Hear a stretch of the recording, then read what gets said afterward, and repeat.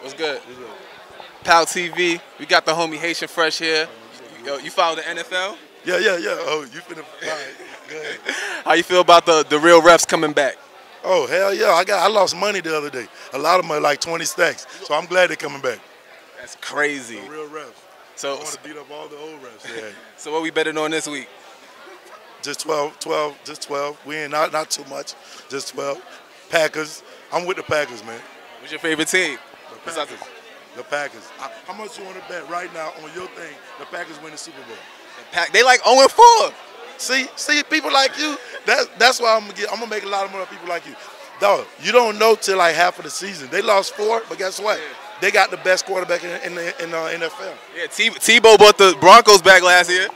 He bought the yeah, yeah, yeah. yeah. There was one and eight. Yeah. So can you take it back, please? So so I don't lose twelve more thousand this week. Yo, anyone out there who want to take Haitian Fresh up on his bet, hit him on Twitter. No, hit me up. Haitian Haitian Fresh. Fresh. Hit me up.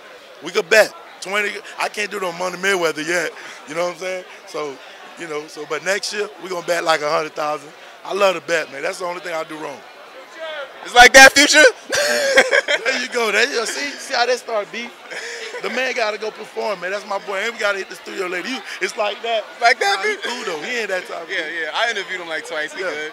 But see, Uh, Future was here last year. He remember some of these ugly motherfuckers that like he good, Yeah, but now fuck him. Yeah, last year 2 Chainz. He's walking around. Everyone's like, "Who that?" Yeah. yeah, people was like, "Nah, I'm good," just like the motherfuckers do.